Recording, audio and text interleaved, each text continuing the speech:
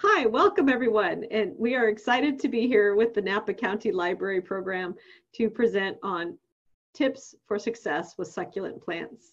The UC Master Gardener Program was started in Napa County 25 years ago. So 2020, we're celebrating our 25th anniversary.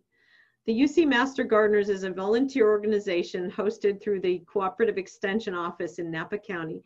And our mission is to provide research-based information and on home gardening, pest management, and sustainable landscaping to the residents of California, guided by core principles and our strategic initiatives. We welcome you to join us through our website and get more information about the Master Gardener program on this website shown here. And now I'd like to introduce our guest speaker for tonight. It's Patty, one of our wonderful volunteers who is going to present on success with succulent plants. Go ahead, Patty, and I will give you the ability to speak.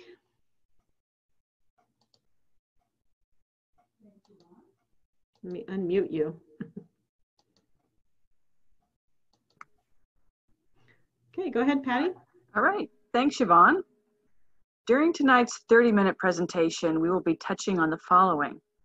The difference between succulents and cacti, the identification of seven common genera, succulents for inside and outdoor, winter versus summer dormancy, soil and potting mixes, container versus ground plantings, maintenance, common problems of indoor-outdoor succulents, and propagation.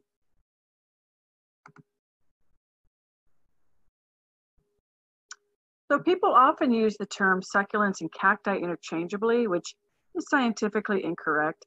Succulents are just plants that store water in their stems, roots, and leaves. There are about 60 different plant families and about 300 genera within the 60 families in which succulents can be found. The cacti family is one of them. There are estimated 20,000 species of succulents in the world. Succulents can be found in just about every environment on, in our planet, which includes deserts, rainforests, and semi-arid regions of North and South America. Succulents are indigenous to many parts of the world, Typically, they come from Africa, Central America, and the northern uh, European Alps, South America, and South Africa. Cacti are only indigenous from Alaska to Chile in the Western Hemisphere. Cacti are fleshy plants that store water, making them part of this group. The most distinguishing feature for the cacti are the areoles, from which their flower, branches, and spines sprout. No other plant has this feature. Therefore, all cacti are succulents but not all succulents are cacti. Aeoniums. Many people think of these big fancy tree aeoniums when you hear the name aeonium, but there are some dwarf varieties too, and you will see this later on in the presentation. So black aeoniums are very popular and sought after. Everyone wants the darkest. These black aeoniums appear black at first glance, but actually it's a dark burgundy. This is more evident when it's backlit. The darkest varieties are Zwartkop, Black Rose, and Black Knight. The value of the black color becomes deeper in full sun. Aeoniums grow during the cool season and go dormant during the summer to conserve its energy. Most aeonium heads reach between 12 and 15 inches across, and they can be two feet tall. Aeoniums are monocarpic, which means the plant dies after it flowers. Aeoniums are native to the Canary Islands. The genus Agave is a dense, diverse, is a big, diverse group of plants. There are approximately 200 species of agave that are currently recognized. The leaves unfurl from a tight bud. Most agaves only flower once during their lifetime, which is 20 to 30 years, and almost all agaves die after flowering, monocarpic but not before it's produced many offsets at its base to replace it. The photo in the lower right corner is an agave americana blooming at a height of 30 feet. It's quite spectacular, and if you've never seen it, Morning Sun Farm says that they have one blooming on the property right now. It really does resemble a gigantic asparagus spear. The flowers produce musky perfume to attract pollinators. Many species of the agave are bat pollinated, there's a wide range of size from 1 to 10 feet, and even some nearly spineless varieties now. They grow in warm and cool seasons. Agaves are native to North America. So on this next slide is a close-up of the agave leaf unfolding. The marks of the leaf that was once so tightly held together in that bud are forever impressed on the underside of the neighboring leaf. I think this is just a beautiful thing. The next group of plants are the aloes. They grow in rosettes, and unlike the agave leaves that unfurl, the aloe leaves grow from the center. These plants have long flower spikes bearing clusters of red, orange, or yellow tubular flowers. The group is very diverse, some being very grass-like in size, and others being 60-foot trunks. Water your aloes deeply but infrequently, allowing the soil to dry completely to avoid rot. They don't appreciate our really wet winters, so they are perfect for a pot if you can re so you can relocate it as needed. Aloes are native to South America, to South Africa. The next group is echeverias. Again, a very versatile plant that grows well in our area with good air circulation and bright shade. It has a nickname of hens and chicks. This refers to the mother plant being the hen and the little chick offsets being the chicks. Um, the flowers attract hummingbirds and bees. Don't let water sit on the rosettes to avoid, so do avoid overhead watering. Or if you do water in the morning, you're probably gonna want to control snails and earwigs which chew on the leaves. Echeveria are native to Mexico. The next group is Sempervivums. They're also referred to as hens and chicks or house leeks. They're very popular succulent with a neat rosette, tightly packed pointed leaves that come in a variety of forms, colors, and textures. Not all of the clusters of the Sempervivum rosettes bloom at the same time, so when a flower dies, the rest can still be in bloom and be very attractive. They are summer dormant, with most of the growth occurring in winter. Sempervivums can actually survive in areas where snow is on the ground. They're native to North Europe. The table on the lower left can kind of help you begin to tell the difference between these two genera of succulents. Uh, knowing the subtle differences of the leaves and the chicks and the flowers and the growth period should begin to make that difference easier to spot. So first of all, the Echeveria leaves are more plump and then there's fewer in the rosette, whereas the Sempervivums are flatter leaves, more of them. And then in that green picture on the top middle, it shows you a good example of the serration that's on the leaves. So the chicks for the sempervivums in the lower corner, you can see that they're splayed out from the hen pretty well. You can see them. Whereas the echeveria holds the chicks tight, close to the hen.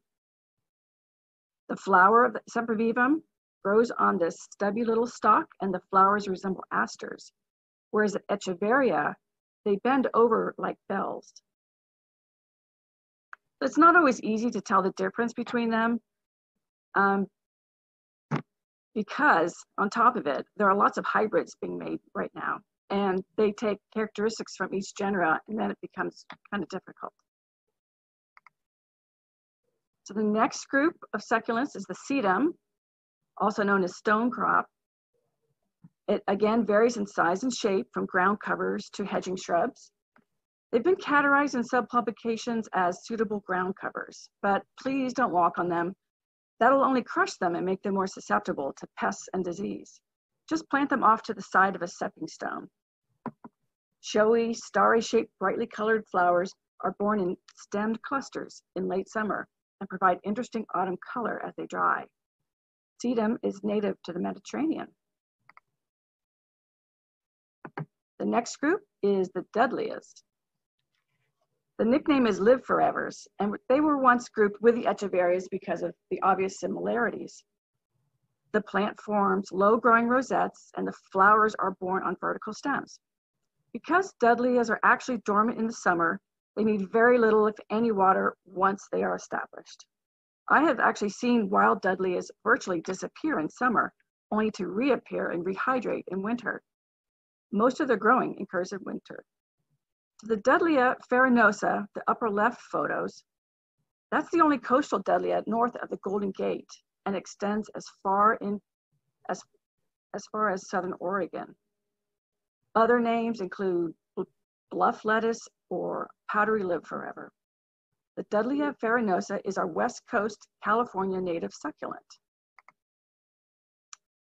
So the Native Plant Protection Act, on the next slide, was actually enacted in 1977, and it prohibits the take of endangered or rare native plants, but includes some exceptions for agricultural, clearing of canals, creation of roads, and some nursery operations. Dudleya farinosa is, des is designated by the Act as a rare native plant. Many native species of Dudleya are very highly sensitive and dependent on specific conditions found only in their specific coastal habitat. And unfortunately, a sudden demand for this wild succulent's unique color and leaf shape for ornamental use in China and Korea has led to thousands of Dudleya succulents being stolen or poached from the California ocean bluffs. So the next photo shows that in March of 2018, two people were caught with 30 boxes of Dudleyas in their rented minivan. When the officers emptied the boxes, they counted 850 50 Dudleyas. In their countries, these would sell for between 40 and 80 dollars a piece on the black market.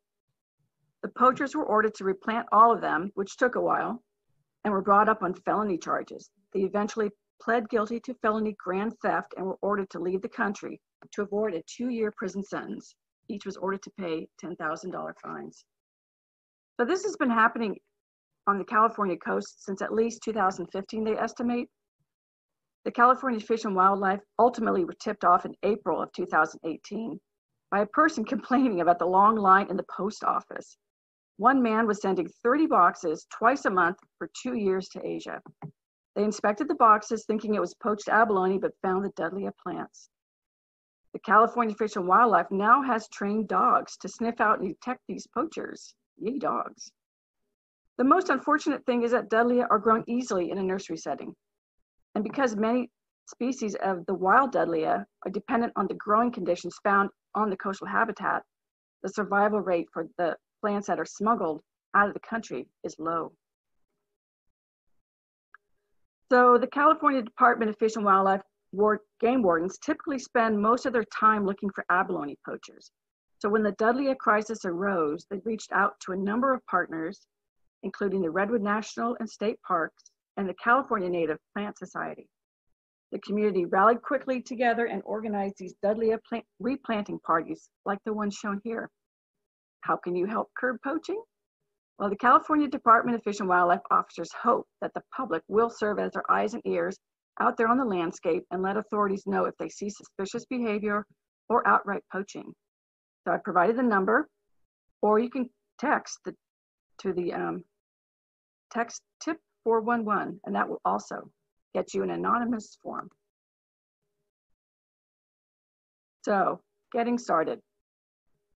Growing succulents is easy and they can thrive without too much fuss.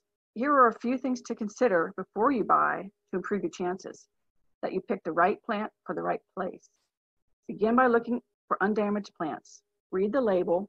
Probably the most important thing you can get from the label is its cold hardiness. Evaluate the different environments that you have at home in which the plant could flourish. Is it the sunny kitchen windowsill, the dappled light in the corner of your front porch, or mixed in with your low water Mediterranean plants in the backyard? These are these are the top five succulents for inside. They include the jade plant, aloe vera, echeveria, zebra plant, that's a Hawthornia attenuata, and the mother-in-law of various species. Just remember to water sparingly, provide good drainage, and pay attention to light requirements. Hardy succulents for outside. The first two on the list we talked about were agaves and sempervivum, which can take full sun and are pretty hardy in cold temperatures. Many think because succulents are found in hot, arid environments that they can take any amount of sun, when in fact they can, but they will benefit from some afternoon shade. We talked about the variety of aloes and the fact that good drainage is a must during wet winters.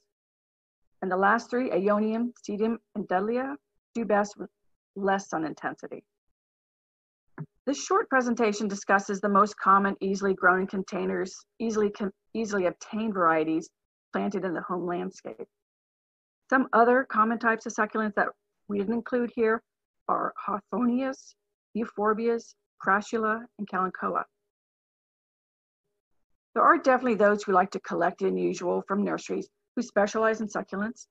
Buying locally is always promoted, but if you do buy from outside the county or online, make an appointment to have your plants inspected by the Napa County Ag Commission to ensure that your plants aren't hosting some unwanted pests.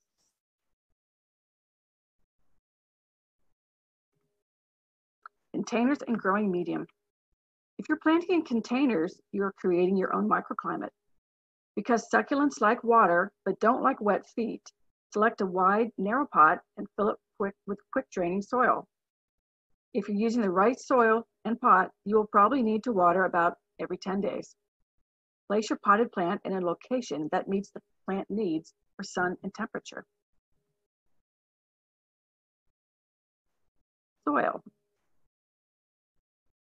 You can find pre-made special soil mixes for a variety of plants easily. For potting up succulents, choose a cactus mix. Typical ingredients include pumice, aged fir bark, aged redwood, and sand, a mix that is fast draining and low in organic material. Or you can create your own soil mix. This is one of UC Davis's soil blends for growing succulents. Again, good drainage with little organic matter. So the advantage of using containers, since all succulents need excellent drainage, which can be a challenge in our dense clay soil, containers offer the obvious advantage. Containers are above ground level, increasing the ability to soil for soil to drain quickly and dry out between waterings. They can be filled with the appropriate fast draining soil mix with low in organic matter and be positioned and watered as needed, depending on the species requirements. If the succulent is a little frost tender, then having it in a container lets you move it to a more protected area for winter.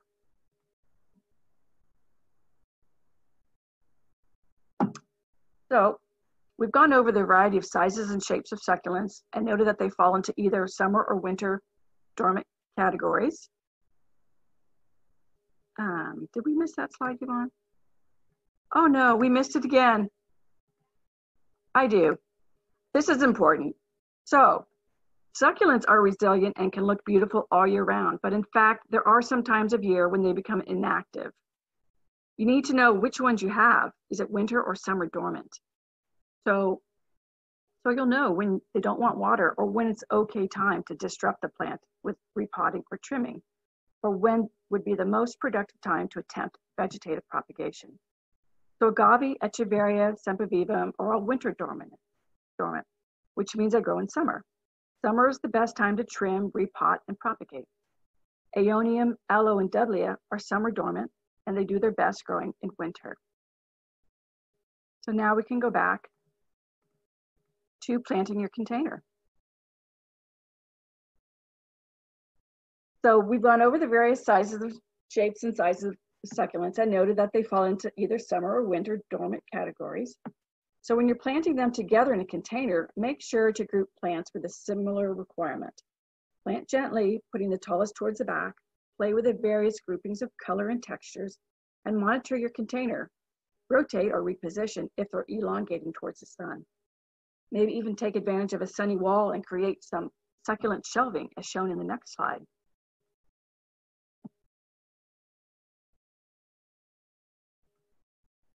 So planting in the garden. If you don't have soil that drains easily, planting your succulents on mounds is a good way to overcome that requirement. Planting on mounds will also offer some degree of frost protection by elevating the plant. The best time to plant is during the growth period. That's either spring or fall, depending on what you have. Know the ultimate height of your plant. Choose a spectacular location for the vertical star of the show or maybe it's two large specimens with a few medium height plants for balance. You could aim to group a few select varieties and repeat them in a few areas and use lower varieties for the foreground. But do be aware of those succulents with spines and locate them where they won't cause any harm to skin, animals, or cars. Know the ultimate spread of your plant so you don't have to redo, thin, or edit your planting area too frequently. Remember, you don't have to cover the ground 100%. It's a nice relief for the eyes to see some negative space too. So in this next slide here, got newly planted in the corner, and then the lower right, it's probably three to four years. It really depends on the location, the soil, water, food, sun exposure of that particular spot, and which varieties grow really fast. So maintenance, watering. There is no specific rule on how much water because it is such a diverse group of plants. Water thoroughly and infrequently during the morning. Containers will need more attention. Fertilizing. To encourage growth, fertilize with a balanced liquid fertilizer like a 10-10-10, for example, once a month during the growing season. It can be at half strength. Stay away from oils such as fish oil, as they can remove that powdery coating if it gets on the leaves. Grooming. Succulents are very slow to lose their older leaves, so you can pluck off the dried basal leaves and spent flowers stalks at any time. If these old leaves are to remain, they could actually hold excess moisture close to the stem and lead to rot. So wait until you see the signs of new growth to repot, shape, and trim excess growth before this growth period. So for summer growers, this would mean March, and for winter growers, it would mean August. Fast growing robust species can be usually repotted or pruned at any time. And it's best to propagate while the plant is actively growing. So next slide shows the troubleshooting for indoor issues. Even though we say succulents are low maintenance, they're not no maintenance. Some of the growing conditions, they might have changed and we have failed to keep up with them. The most common succulent ailments are caused by too much water. The top three photos are the result of too much moisture. The photo on the left had leaves turn yellow and become soggy and drop off. The center photo has that buildup of dead leaves, which we talked about, holding moisture close to the stem. And then the photo on the right, obviously looks like it's in a container that doesn't have any drainage at all, and there was rot. So always provide proper drainage and let indoor succulents dry between waterings. Remove old leaves and flowers. Legginess or plant elongation is caused by insufficient light and it's easily remedied by trimming the long growth and relocating it to a brighter spot. If the plant seems to always be dry, it's most likely needs to be repotted into something bigger. Plants that aren't getting the appropriate water, light, or food can become stressed and susceptible to pests and disease. Common indoor pests include scale and mealybug. For scale, Isolate the plant from other plants, move it outside if you have to, spray it down with some isopropyl alcohol, and scrape the scales off gently with your thumb. Repot with fresh soil. On the next slide, you're going to see mealybug. So here we have a mealybug infestation on an indoor zygocactus, which is probably caused by plant stress due to too small of a container. Use cotton swabs with isopropyl alcohol to clean off the pests. Trim the long foliage and transplant into a larger pot with fresh soil. And while you're at it, check the roots for mealybug as well. Check out the UC Master Gardener website for information on other plant pests and their control. So maintenance for outdoor issues?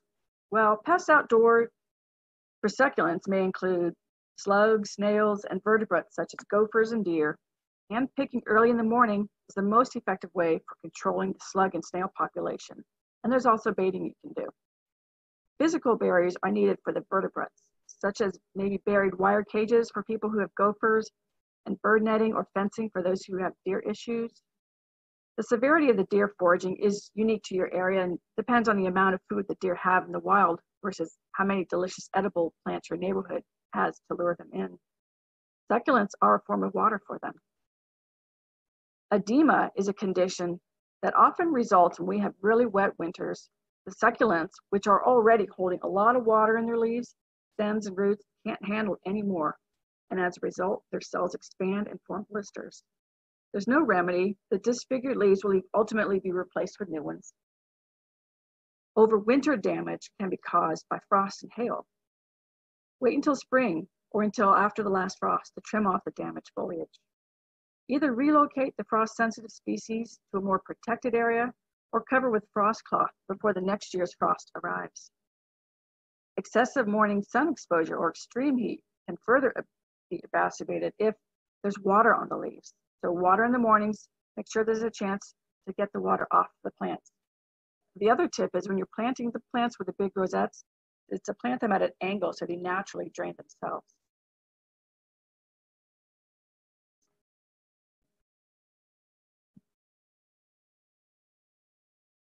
So the next section, we're going to talk about how they propagate by themselves. So this first slide shows a succulent propagating via a bulbil. This is Haworthia fasciata. It bloomed, and then the very tip of the bloom turned into a new plant. The new plant is called the bulbil. In terms of orchids, when orchids do this, they call the new plant the keiki. Haworthias are winter growers. The next slide shows propagation via aerial roots. This is Aeonium decorum green pinwheel. I thought it was a sempervivum for the longest time. Obviously, this plant wanted to get bigger, two feet actually. It escaped the pot, and with these aerial roots, it found a source of more food and water outside the pot. The roots growing under the stem act like buttress roots, and they hold the plant up. The stem can be cut into multiple pieces, seeing as the whole length is lined with roots already. This is one of the dwarf varieties of Aeonium I mentioned earlier. So this is self-propagation via offshoots. So these are photos of the same plant. The color looks different because it was moved from Marin to Napa and into a less sheltered location. The photo on the left was the first year propagated cutting, and it produced 14 offshoots. All the offshoots were given away to an MG succulent workshop to the attendees. So this is also why you need to come to our workshops, free plants. Now I wasn't sure if that same plant could produce offshoots again, but the following year it made 21 offshoots, which is a 50% increase. We'll see what happens next year. Sempervivums are supposed to be monocarpic, which die after flowering, but so far this one has not yet flowered. Maybe it's because I keep removing the offspring. I'm not sure yet. So vegetative plant propagation. You're going to need sharp, clean clip clippers. Disinfecting can be done with alcohol or bleach. Just know that if using bleach, it may be a more effective cleaner, but it's corrosive to metal. So you have to wipe it afterwards and then oil the tool. Some people use a flame to clean the tool. Whichever you use, disinfecting your tool and keeping them sharp is a good practice, which may reduce the likelihood of transmitting diseases from infected plants to healthy ones. So selecting healthy cuttings. Vegetative propagation is achieved by either using the leaf or the stem of the succulents. When removing the leaf, you must make sure that you get the whole leaf all the way down to where it connects with the stem, and this can be done with a gentle twist. When using a stem cutting, remove any flowers or flower buds to allow it to use its energy and stored carbohydrates for root and shoot formation rather than flower and seed production. Depending on the variety of succulent, a stem cutting that has at least two growth nodes could vary between two inches to six inches. And the next slide will show you where the growth nodes are on a plant. So this diagram shows all the places on the plant where growth occurs. We know that plants grow upwards at the shoot apical meristem and makes roots at the root apical meristem.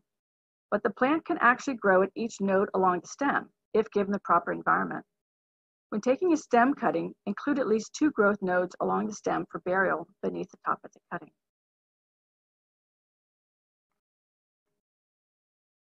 Vegetative propagation. The most important step in vegetative propagation is to let the succulent leaf or stem dry, and callus over for at least one to two days. Thicker pieces will require more time. Succulents hold a lot of water and will rot if fresh cuts are put directly into soil and watered.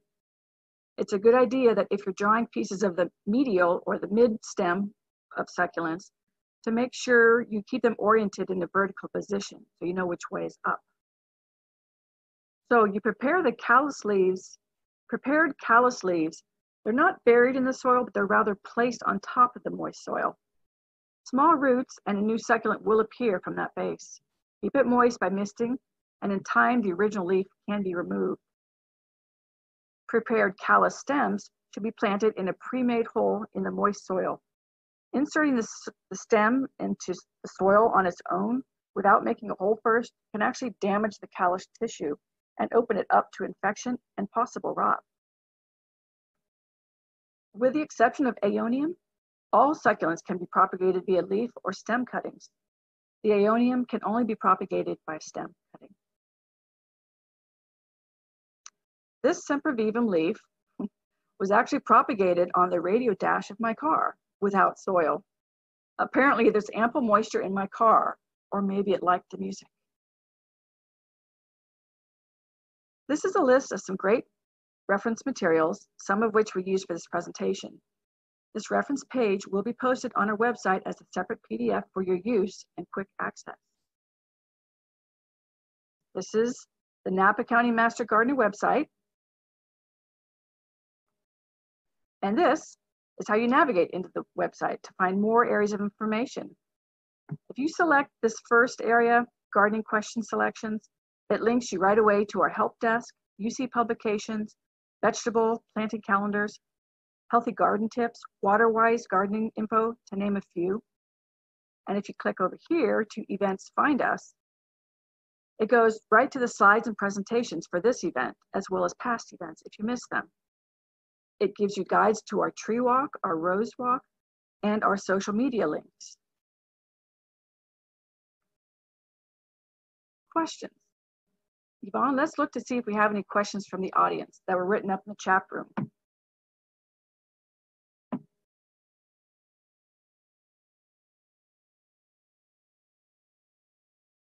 I can't hear you, so I'm going to go in your room. Okay.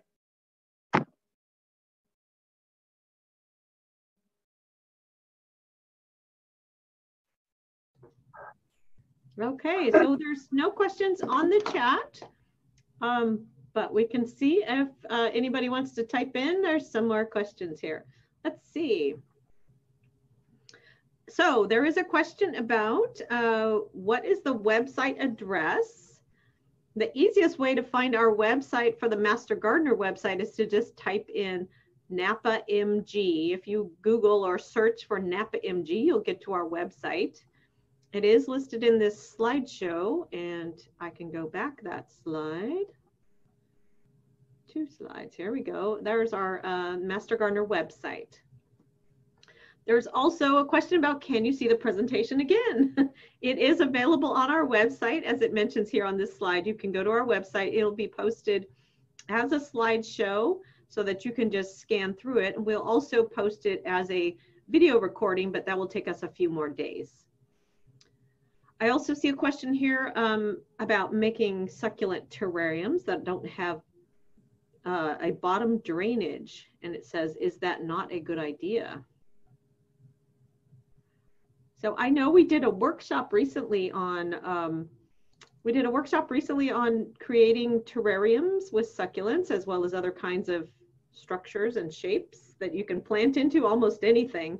Um, you can put some um, activated charcoal and sand in the bottom of the container that can help allow the drainage to come, the water to come out. And it, you do have to be really careful with terrariums that you're not overwatering because succulents do like really good drainage. And if you have any problems with not appropriate drainage, then you'll have issues with uh, rot in your plants. There's also a question here. Um, I just bought some succulents, but it's not March or August. Can I repot them or should I wait? So it depends. It's going to depend on the type of succulent it is. As Patty mentioned during the slide presentation, I'm answering for her, but she's nodding her head. um, during the presentation, she mentioned that some are summer growers and some are winter growers. So what you want to make sure is that you have the right kind of plant that can be growing in, actively growing in the season that you're trying to replant it. You don't want to propagate or um, plant things in the wrong time of year or they won't they won't have the energy to get going because they're in dormants in dormancy. Let's see, I see some more questions. Um, let's see, why do Christmas cactus bloom in May? it's when they have the right energy, I guess. In my house, they always they always bloomed for Thanksgiving, so we call them the Thanksgiving cactus. I guess it may depend on the temperature and light exposure that they have, perhaps. Um, we might have to investigate that further. There might be different varieties too. There's a question here that says they are Amorium aeronomiums. I don't know what that is. I'm there sorry. I'm there were some listed on our dormancy list, and I believe that was one of the winter dormant. Oh, okay. That, so um, Amorim or Morim? Yeah, they can go back and look at that All sign. right. Let me um,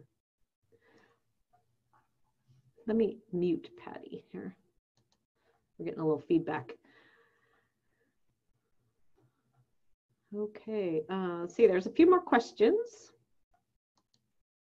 Hold on just a moment here. Let's see. What should I, so Carol's asking, what should I do to take care of Christmas cactus other than keep it shake? I'm not sure what that means. Regular fertilizing with a liquid fertilizer. So Patty's suggesting that you have regular fertilizer with a liquid fertilizer is probably the Balanced. best. A balanced fertilizer is important. You don't want something that's going to have too much of any one of the three main nutrients. A balanced fertilizer will have something on the label that will say they'll have there'll be three numbers listed. You want those three numbers to be the same, whether it's 555 or 20 20 20. If it's an organic fertilizer, it may not have all three of those particular items in it. Let's see, I want to propagate Burro's tail sedum from leaves. Is now a good time? We'll have to check I back. think sedum was on the winter dormant list, so that would be fine. That's one of the things that you can just lay on the surface, those little beans that you can just lay on the surface of the soil and keep moist. I hope hope people can hear that. that was Patty answering. She said she thinks that this is a good time for the sedum to be propagated. You can lay it on the surface. So let's see. Lisa is asking, I've seen succulents attached with chicken wire to a picture frame. Uh, what soil would be used for that? Those are um, vertical, uh, those wire frames are designed as vertical gardening and they do have to re be replaced fairly often because the plants don't want to grow sideways. So they're going to grow up and it, the frames actually will look rather stretched out after a while, but they can be, um, some people use, um, I've seen people use moss and other um, non-soil items in those particular picture frames. You have to be careful with weight depending on how large the frame is. Uh, oh, should Christmas cactus be kept in the shade? It's gonna need some light to blossom, so some indirect light will help it bloom. So that's that's critical for a lot of plants. If they don't get enough light and they don't have enough nutrients or water, they won't flower. Um, I know that my Christmas cactus does look a little stressed when it's in too much sun. Most succulents will actually look a little better with a little bit of shade, especially hot afternoon light can be too intense sometimes for succulents. Um, we have noticed in our presentation by the UC Davis Conservatory, she talked about her succulents looking very red when they're in too much sun because they are actually putting on their own sunscreen to prevent them from sunburning. So if you if you like the look of red succulents, you can put them in a little more sun, but most of them do need some partial shade, especially in the heat of the day in the late afternoon. Let's see, there's a question here about a propagation chamber for sedum leaves or just a pot. I think you could probably do sedum. Sedum's one of the easier ones to root, I believe. Mhm. It roots from the stems usually, and I've seen salts, um, just segments of sedum will break off pretty easily, and they almost always have some little roots on them. So sedum is a, a pretty easy one generally to root from, from small stem cuttings. Uh, boy, there's lots of questions coming in. Um, let's see. Earlier question, I bought some summer dormant succulents. Do I leave them in their pots or can I repot them right now? Well, that would be like an aeonium, for example, and that's the one that's dormant, um, that's the one they, they would recommend you doing this repotting and activity with the plant during winter. So probably best to leave it in its pot now. You could you could transplant it, but it's it's going to be a little stressed because it's not actually growing. So you're going to risk having some rot if you try to repot them now. They're better off waiting until the winter when they're actually actively growing. So you could do it, but you would, would have to be very careful because they're not going to be actively growing.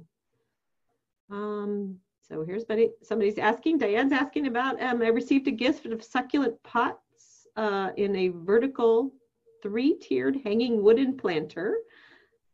Will they last in this type of container or should I repot them? It depends on the succulent. I mean, eventually, like a lot of the little sedums, which you find in these containers, they're a ground cover and they will need space. So you're, you're going to need to maintain. If you want to keep that three tier going, you will need to edit it after a while, um, trim the long growth, and maybe, you know, stick some more into the ground if they're looking a little um, sparse any i think one comment about that is any kind of container you do have to repot your containers on a regular basis for any kind of plant because the soil that's in a container will get tired or um, compacted and it's always a good idea to repot things every few years and not necessarily every year but um, certainly something like that. If, if it's not a very deep deep container um, you'll have to keep an eye on the plants and if they start to look stressed or have overgrown the container, you might have to redo them. Um, okay. How do you know what branches to cut when pruning? Is there a method for pruning succulents? You just take them off the top down to a, a height that you like. They will grow back. I think uh, that's again going to depend a lot on the on the species as well because some of the things like as Patty mentioned the aeoniums only grow from that that rosette tip. Um, and so if you pruned off that you wouldn't have any side branching happening. So it's going to depend a little bit on their growing method and how you could prune them. So there's lots of resources on succulents and you'll have to do a little research on the different ones that you actually have to find out the details for that uh, Chris has a question about a jade plant cutting. Can it be planted directly in the ground? You can. The jade plant is going to be frost sensitive though in here. Um, so maybe underneath an eave where you won't need to put a blanket over it for winter. Yeah, I've seen jade plants in the ground, but they they are, as Patty says, they're very sensitive to frost and they look just horrible after they've get frosted. All the all the leaves will fall off. So you um, you can put them in the ground, but they'll have to be in a protected location where they will be protected from frost and cold temperatures. I think we've got everybody's questions. If you have further questions, you can also submit them through our website. On our website, we have information about our help desk and we have a place where you can submit questions at any time, and we would love to answer more of your questions there. So please do go to our website, and um, we will answer any further questions about succulents. So I'm going to unmute Stefna, and we're going to thank you all for coming today. So I all guess. Great. Well, thank you very much, Yvonne and Patty. Um, that was very informative. I have some of my own succulents in, on my back deck, and um, I learned a lot, and I know I know now what I, I think I know now what I must be, uh, do. So uh, I would like to thank everyone for attending. I want to remind everyone that on the first uh, Thursday of the month, we meet with the Master Gardeners. Next month, we're going to go beyond cactus and succulents, and we are going to be creating fabulous low water and dry gardens. So uh, show up, Thursday, July 2nd at 7 p.m. And I just want to give a shout out to Stefna and say that the library has so many other wonderful programs as well. I know you are doing art programs and all kinds of other great things and, and making them as remote uh, accessible as possible. Um, so thank you. Out their You're, site as well. You're absolutely correct. We do have other programs and I would like to say that next Friday night on the 12th of June, Art in the Library, uh, we are going to have Richard Bruns. He's going to do a presentation on his artwork. Um, he's a photographer, and that will be at 6.30. So if you could, uh, if you'd like to attend, it's uh, on June 12th, Friday night, 6.30, Art in the Library. Thank you, thank you, Yvonne. Thank you for coming today and thank you everyone for joining us and hope you have a great success with your succulents.